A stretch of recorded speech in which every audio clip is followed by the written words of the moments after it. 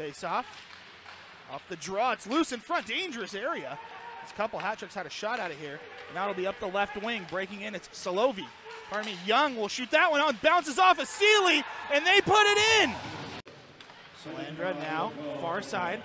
Breaking in with it. It's Dumas. Dumas gets stood up. Now it'll be in front. And they score. Bannister. First.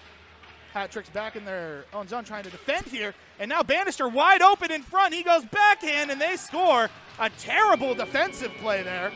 Howard behind the net to McCurdy. This will be turned over. Bannister has it in front. He's going to toe drag and he gets a hat trick. Grestes will wrist it. That's going to be loose in front. They score.